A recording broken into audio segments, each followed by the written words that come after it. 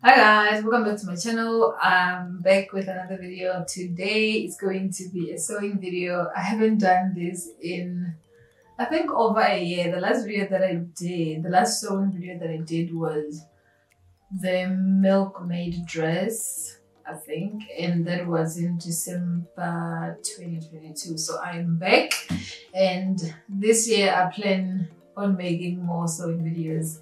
Before that, I want to show you my new sewing machine. So this is my new baby. It's my new industrial machine. Well, it's new to me. I bought it off of Facebook Market.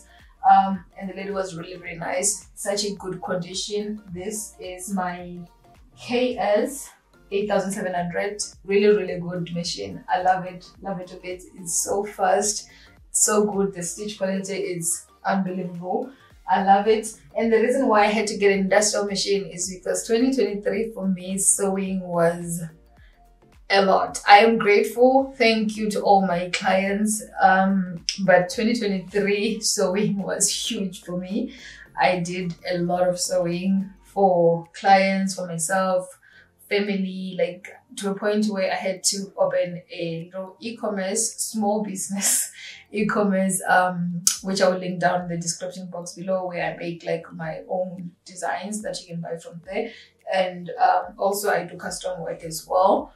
So yeah, this is my machine. I still have my little brother somewhere there and I do use it for like buttonholes because this is a straight stitch machine. It doesn't do buttonholes. It doesn't do like zigzag and stuff. And talking about the zigzag, I also had to get an overlocker because I do like the way it finishes. So this is the overlocker that I use and it's the MPSOL 760C yeah. Really really good. I just got it serviced. But anyways on today's video i am going to be making a pants and a vest like a, a waistcoat vest. I think this is gonna be like a two-part situation like a two-part video. So i'm gonna start with the pants today and then tomorrow i will do the vest hopefully i can finish each piece in a day but um yeah so that's what i am doing today. And here's the fabric that I'm going to be using. I'm using a suiting fabric, which looks like this. I've got this from Dubai Center, but also Shamdo has it. It's in this bent orange color. I just saw the color and I fell in love. So this is the fabric that I'm going to be using. And I got two meters. It was literally the last piece on the row. But I know Shamdo also has the same the same color and everything. So if I do need more, I can always pop into Shamdo and get more. But hopefully this will be enough because for me, I'm short and I do want the pants to be a little bit wide, but not too, but still be fitted like on the waist and the arm. I do have my pattern ready. I did draft it myself and the vest I'll draft it tonight. But the pants is ready. That's why I'm gonna just go ahead and start with the pants. So without any further ado, I'm just gonna go ahead and start cutting. So I am starting with the back and I'm doing the darts first. I've already um, traced them onto the fabric and I'm just gonna go ahead and stitch both of them. And I like to go ahead and iron them flat once I'm done stitching so that they can stay clean and smooth.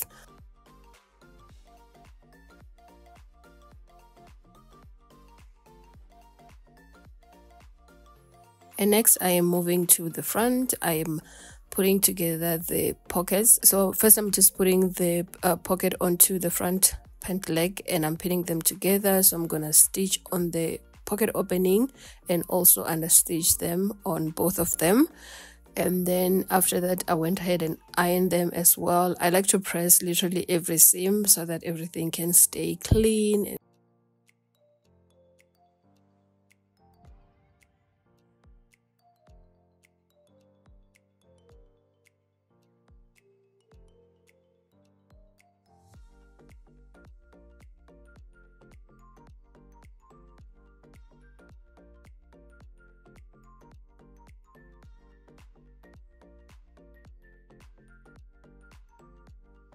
and I got this machine like three weeks ago and I'm still trying to get used to the speed especially like the back stitching. Sometimes it just goes faster than I expected but I am I'm loving it.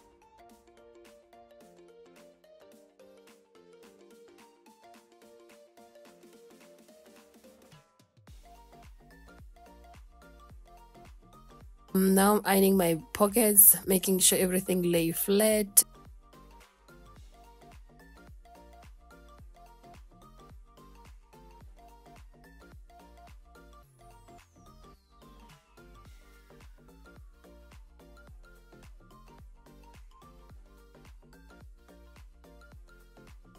And now I am pinning together the pocket and the pocket bag so that I can finish the pockets before moving into the next part.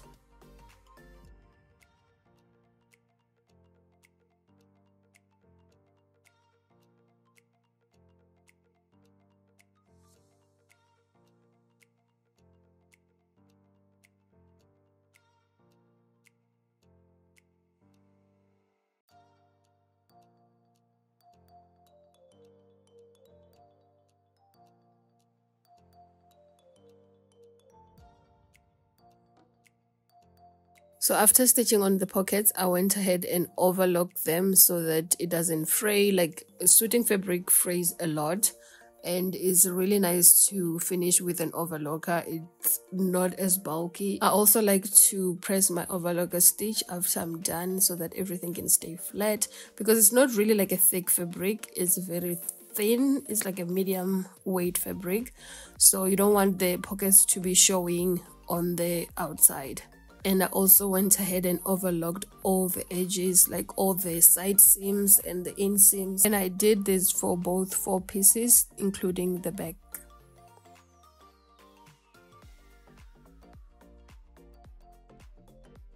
And I've pinned the back seam together and I'm just gonna go ahead and close it before I can attach the front to the back pieces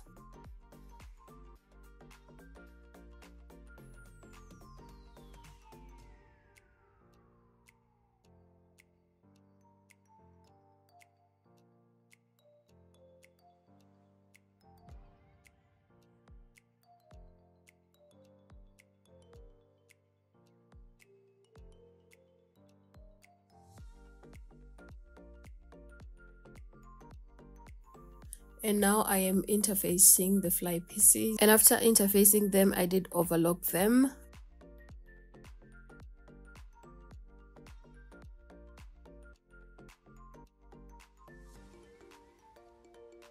And I'm stitching the fly facing onto the left side of the pant. And um, after I was done with that I also understitched it because we don't want to flip around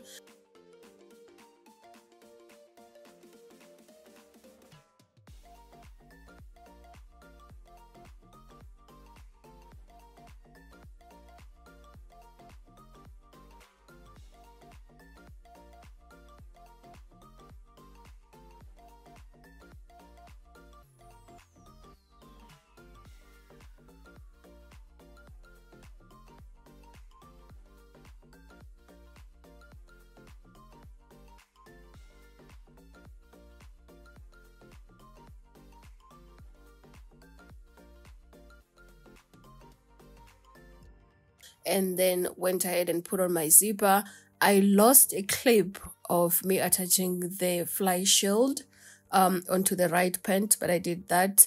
Um, and now I'm just gonna go ahead and stitch together the both pieces onto the zipper. So my zipper fly is done. Like a zipper fly is something that is not as hard, but you kind of have to find your own way to attach it. And once I was done with attaching all the pieces and the zipper, I went ahead and closed the uh, crotch seam. So once I was done with the crotch seam, I went ahead and traced the uh, fly facing onto the onto the pant on on the outside of the pant on the right side of the pant and and top stitch on it. it. I find it easy for me to actually trace it, but also remember to remove the seam allowance because it's going to be so big. So I went ahead and traced that and top stitch it.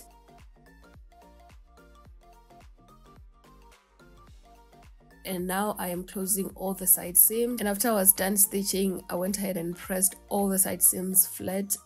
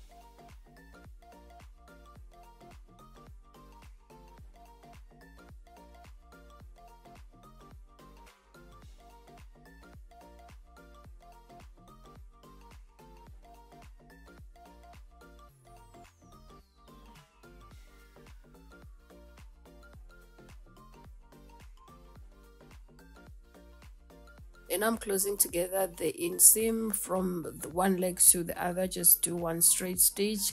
And if you want to reinforce you can double that. But I find that mine works fine if I just do like one stitch. It stays strong and it lasts forever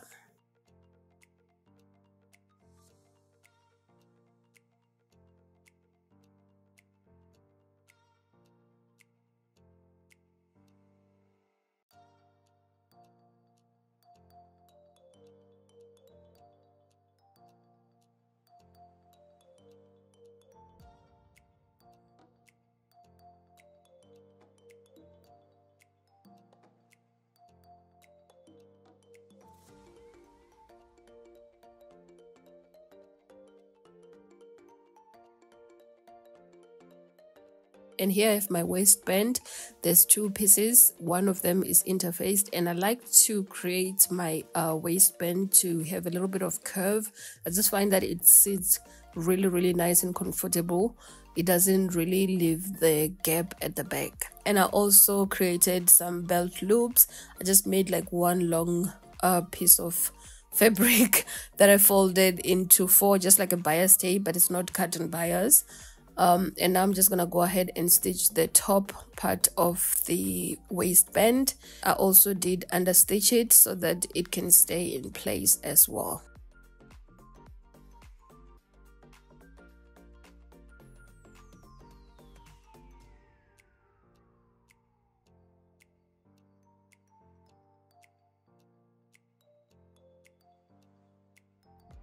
and I'm stitching the belt loop together. I did two stitches on both ends and after that I did cut them into five pieces and they are eight centimeters each and I went ahead and pinned them first on the pen before pinning the waistband and just stitch everything together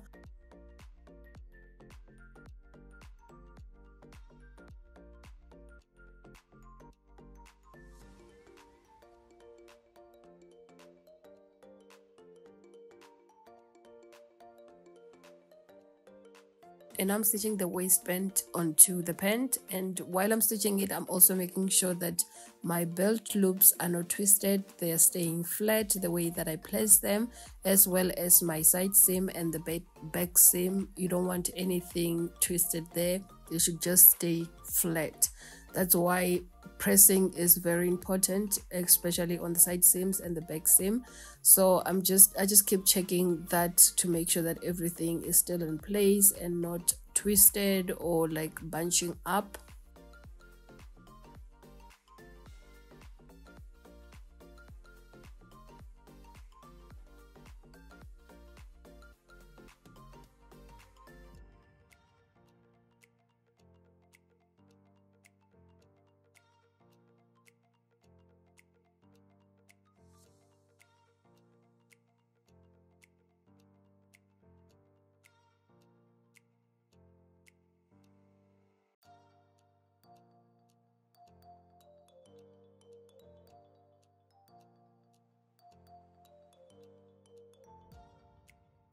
and I also closed up both ends of the waistband and turn it the right way. And to secure the inner part of the waistband i decided to hand stitch it. I was gonna do like stitch the ditch but i just didn't like how it looked on the inside. The outside was fine but the inside didn't really look that clean. So i decided to just go ahead and hand stitch everything which turned out great. And now i'm just stitching uh, the tops of the belt loops. And i didn't make a mistake with the back belt loops um, it wasn't really that big of a deal, but I just didn't like how they looked. I had one in the middle uh, lining up with the back seam, and two of them I placed them on the darts, but they were so close to each other that I had to remove the two that were on the darts and move them a little bit to towards the uh, side seam, which turned out great. The distance was actually like equal, like amazing.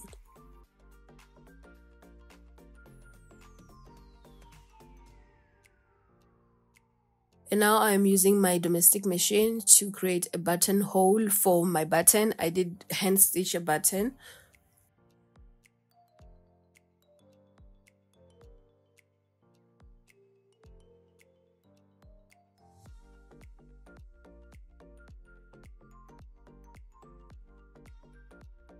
the last thing left was to finish the hem first i had to overlock the hem and then after that i did like a double fold of half an inch each time and i pressed everything and then just went ahead and stitched it with my narrow foot so that i can just stay in line and make sure that everything is the same both sides is equal. And yeah that was the end of my pant and this is the final results. I hope you guys enjoyed this video and if you did don't forget to thumbs up. Subscribe to my channel if you haven't already. I have lots and lots of sewing videos to come and i will see you guys on the next one. Bye